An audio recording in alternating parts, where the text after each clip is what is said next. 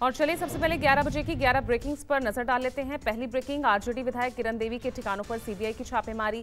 किरण देवी, लालू प्रसाद के करीबी और पूर्व विधायक अरुण यादव की पत्नी हैं। छापेमारी भोजपुर स्थित विधायक के घर पर हुई है। किरण देवी के पति अरुण यादव बड़े बालू कारोबारी हैं। अरुण यादव के जेल में रहने के कारण पिछले चुनाव में संदेश विधानसभा क्षेत्र से किरण देवी को टिकट मिला था। दूसरी ब्रेकिंग आज देश भर में कई जगहों पर रोज़गार मेले का आयोजन।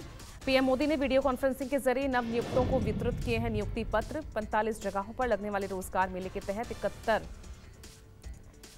नव नियुक्ति पत्र ये बांटे गए हैं। और प्रधानमंत्री ने यहाँ पर युवाओं को वर्चुअली संबोधित भी किया।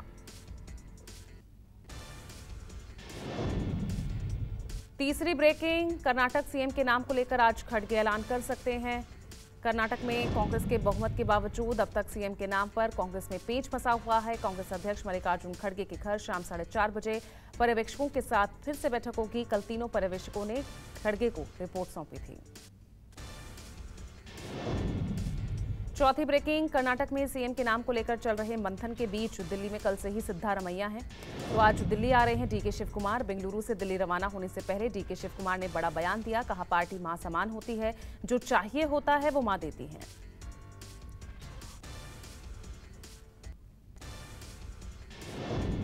पांचवी ब्रेकिंग, बंगाल की सीएम ममता बनर्जी ने कांग्रेस को बड़ा ऑफ़र दिया है। कहा 2024 आम चुनाव में कांग्रेस को समर्थन देंगे। लेकिन बंगाल में टीएमसी के खिलाफ प्रत्याशी नहीं उतारने की शर्त भी रखी।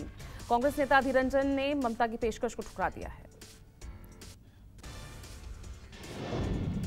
छठी ब्रेकिंग, कर्नाटक में हार के बाद छत्तीसगढ़ विधानसभा की तैयारी में जुटी हुई है बीजेपी। छत्तीसगढ़ के दौरे पर बीजेपी प्रभारी ओम माथुर आज कार्य समिति की लेंगे बड़ी बैठक। बैठक में भूपेश बघेल सरकार को घेरने पर बीजेपी का मंथन। सातवीं ब्रेकिंग, उमेश पाल हत्याकांड में मोस्ट वांटेड अतीक की पत्नी शाइस्ता का अब तक सुराग नहीं मिला। पुलिस ने शाइस्ता परवीन के खिलाफ। आठवीं ब्रेकिंग गहलोत सरकार की मुश्किलें बढ़ा रहे हैं सचिन पायलट। सचिन पायलट ने दिया है पंद्रह दिनों का अल्टीमेटम। कहा, अगर मांगे नहीं मारी गई तो अब पूरे राजस्थान में आंदोलन होगा। राजस्थान में अपनी ही सरकार के खिलाफ पदयात्रा करने वाले सचिन पायलट ने समर्थकों को संबोधित किया और तीन मांगे रखी। नौवीं ब्रेकिंग। दिल्ली के जंतर मंतर पर प्रदर्शन कर रहे पहलवान। आज राष्ट्रपति द्रौपदी मुर्मू को सौंपेंगे ज्ञापन। सभी पहलवानों ने अपने अपने ज़िले में आज से सत्याग्रह करने की अपील की है। केंद्रीय मंत्री अनुराग ठाकुर की रेसलर से अपील है। उन्होंने कहा है कि अब आईओए की एडहॉक कमेटी फेडरेशन को देख रही है। प्लेयर्स के ट्रायल भी अब शुरू हो गए हैं। पहलवानों को अब अपना धरना बंद कर देना चाहिए।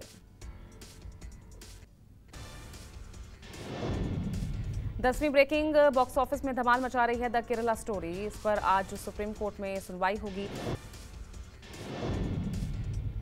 और ग्यारहवीं ब्रेकिंग आपको बता दें, दिल्ली के स्कूल में बम की खबर मिली है। जाँच में कुछ संदिग्ध नहीं मिला है।